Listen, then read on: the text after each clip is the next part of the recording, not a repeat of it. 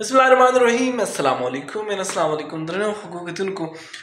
ډیر مده بعد کلی ته راغلم نو ما چې یو ویډیو په کلی کې موریدونکو ته بار جوړ کو زما همیشه دا یو کوشش وی چې خسته خپل میسج خپل اوریدونکو ته ورکو نو دا سیدم چې نن ما یو میسج داسې شروع کوم چې کوم بازاري چرګان موږ خورو کوم بازاري چکن چې دي دغه بازاري چکن باندې یا دغه بازاري چرګ چې کوم دی په دې یو ریسرچ شوی دی چې کله هم بازاري چرګ څوک استعمالوي او ډیر زیات استعمالوي نو د دغه نه کینسر لګیدو خدشات پیدا کیږي یو ریسرچ تر مخه دا وخت چې کوم دی ټول نه سیوا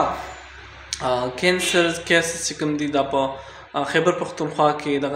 رامخې ته شوي دي او د دغه وجه هم دا ده چې موږ په خیبر پښتونخوا کې د چرګ استعمال ډیر زیات کوو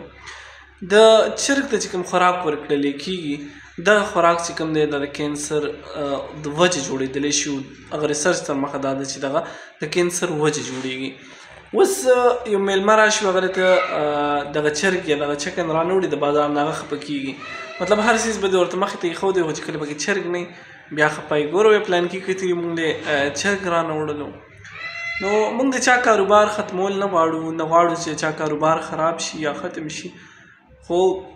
لږ احتیاط کول پکار دي ځکه چې احتیاط ژوند دی او کله مونږ به احتیاطي کو نو به احتیاطي ژوند زموږ ختمول شي همیشه احتیاط کول پکار دي همیشه د احتیاط نه کار اخیستل پکار دي په ژوند کې بې احتیاطي لږ ډېر بې احتیاطي چې کوم ده دا زموږ ژوند زموږ لپاره مشکل سخت جوړولی شي نو دغه لږ ډېر خلک به خفه کېږي چې کله ولې ته هغه ستا میلمه یې ته ولې چرګ لال نه کړي هغه لې رانه وړي هغه هغې باندې خفه شي خو هغه په دې کنوینس کول پکار دي موږ له پکار چې موږ به دې خفګانونه د یو بل نه کم از کم ونه کړو له دې څخه افغان چرګ خوړلی یا نه خوړلی خو د دې نه چې کوم بیماریانې لګېدلی شي نو دغه ډېر زیاتې خطرناکې وي خاص کر د کینسر لا علاج بیماری ده علاج یې مطلب لږ ډېر ممکن به هغه د هغه چا لپاره ممکن دی چې چا څه په کرونو کې پیسې ورسره او بیا په ځان ولګي د غریب سړي لپاره دغه علاج چې کوم دی دا ناممکنه دی مې بي داسې وي یو نیم اداره وي هغه وایي چې مونږ علاج کوو خو هغه بیا چې کله خدا نه خواسته په انسان راشي نو بیا ورته پته لګي چې هغه کوي یا نه کوي خو داسې ده چې احتیاط ډیر زیات بهترین دی هغه ویل کیږي نو کیر از بیټر دین ټریټمنټ چې پرهیز چې کوم دی دا د علاج نه ډیر زیات بهتره دی که بیا وروسته ډیر زیات علاجونه انسان وکړي خو چې دغه لږ پرهیز یې مخکې کړی وی نو شاید دغه بیماري هغه ته رانه شي بل دویمه خبره نن سبا زکام د یو وبا شکل اختیار کړی دی